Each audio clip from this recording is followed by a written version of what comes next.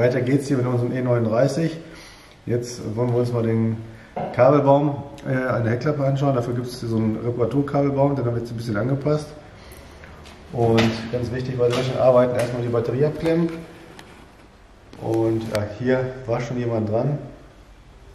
Aber das schneiden wir erstmal alles ab und gehen dann in die Biegung rein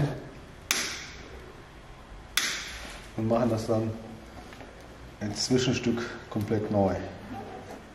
Wir haben jetzt hier einen elastischen Kabelbaum mit so einer Silikon verstärkten Hülle. Das sollte auch die Biegung dann ja, besser aushalten. Das Ganze wird jetzt hier abisoliert und dann äh, verkrimmt. Jetzt haben wir das Ganze hier neu verkabelt, schön zusammengelötet. Die Dichtung ist jetzt hier hinten neu reingekommen. Und jetzt wird das Ganze noch hier mit äh, Gewebeband ein bisschen ummantelt. Wenn wir das haben, können wir das Ganze wieder schön oben einsetzen. So genau hier an der Knickstelle. Kommt das hier schön wieder rein. Jetzt spulen wir das hier noch ein bisschen ein. Silikonspur, dann geht das hier besser rein. Können wir das Ganze schön wieder eindrücken. Und dann hält das wieder dicht. So.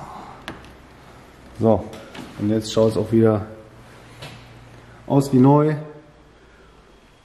So, jetzt ähm, wir uns hier vorne nochmal den Scheinwerfern. Man sieht hier einfach mal den Unterschied. Altersbedingt nach 15 Jahren ist das Glas einfach schon ja, sehr, sehr mitgenommen. Und äh, mit diesen neuen Gläsern, also neuen Scheinwerfern, haben wir auch wieder mehr Lichtausbeute und äh, sieht einfach wieder cooler aus. Übrigens, wer nicht den kompletten Scheinwerfer tauschen muss, der kann auch aus dem Zubehör einfach nur die Gläser äh, austauschen. Ist dann, dann auch deutlich günstiger, liegen so bei ca. 100 Euro.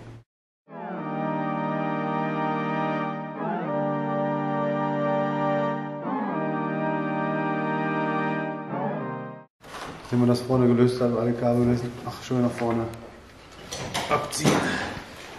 Jetzt haben wir's. So, jetzt müssen wir hier noch das Vorschaltgerät demontieren und auf den neuen Scheinwerfer übertragen. Und ja, dann können wir schon den neuen Scheinwerfer einbauen, weil da alles mit dabei ist.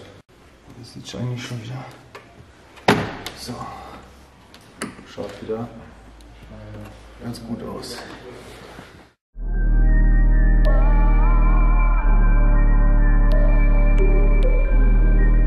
Jetzt machen wir den zweiten herein. Ich glaube, der Unterschied ist schon deutlich zu sehen. Und ich freue mich schon gleich aufs Gesamtergebnis, wenn wir jetzt äh, beide neu drin haben und die Batterie wieder angeschlossen haben. Ähm, wir haben auch schon die Standlichtringe, die Halogens in LEDs ersetzt. Und ja, ich bin ich mal gespannt, wie das angeschlossen ausschaut. Jetzt haben wir die ersten, sage ich mal, Schönheitssachen, hier, die wir verbauen wollen. Original hat der diese großen Dumbo-Ohren und die tauschen wir jetzt gegen schöne M5-Spiegel aus. Geht relativ easy. Und dazu müssen wir die Türverkleidung lösen, mit zwei Schrauben befestigt und dann den Spiegel demontieren. Der ist mit äh, drei Schrauben befestigt. Ja, und dann bauen wir die schönen Babys ein. Die Türverkleidung.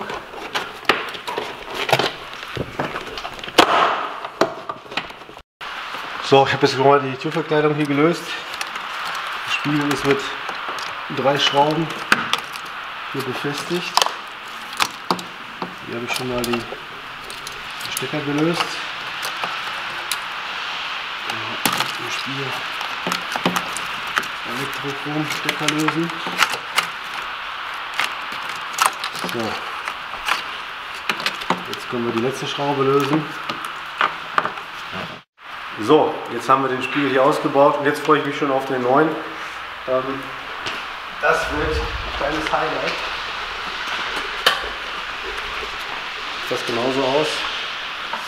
Ach, mal schauen, wie das mit den Dichtungen hier ausschaut. Wenn wir von dem alten Spiegel den Dichtrahmen übernehmen.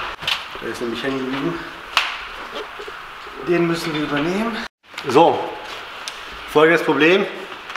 Schaut super aus, alles gut, aber im Laufe der Zeit löst sich bei den E39 Modellen der Kleber. Das heißt, die Dichtung hier ähm, funktioniert nicht mehr, hat kein, keine Wirkung. Kann man das gut sehen. Es hat sich hier alles gelöst. Und die Folge ist, das Wasser sammelt sich im unteren Bereich der Türpappe. Schaut mal hier, ah, richtig eklig, schon echt weggegammelt. Es ist hier echt nass und zum Teil schon mit Schimmel befallen. Das Ganze werden wir jetzt reinigen und dann gut trocknen. Und wenn das getrocknet ist, dann ähm, werden wir hier die ganzen Dichtungen erneuern. Und ja, dann ist das auch behoben. Das merkt ihr übrigens äh, daran, dass der Wagen von innen beschlägt, meistens auch im hinteren Bereich. Gerade wenn es jetzt etwas kälter ist, ist mir das auch aufgefallen. Ja, das wird jetzt richtig getrocknet und dann bauen wir das wieder zusammen.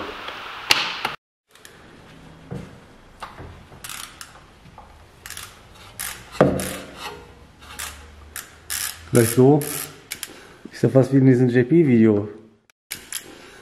Ist ja fast wie in diesem JP-Video. Pass auf, der läuft ja rüber. Hast du das aufgemacht vorher? Dann, dann schnell. Mach die schnell, die, mach die Schraube wieder rein. Schnell die Schraube wieder rein. Alter, du darfst doch nicht so machen. Und wir lachen noch über das JP-Video. Richtig geil, das habe ich der Pferde mit dem Öl ne?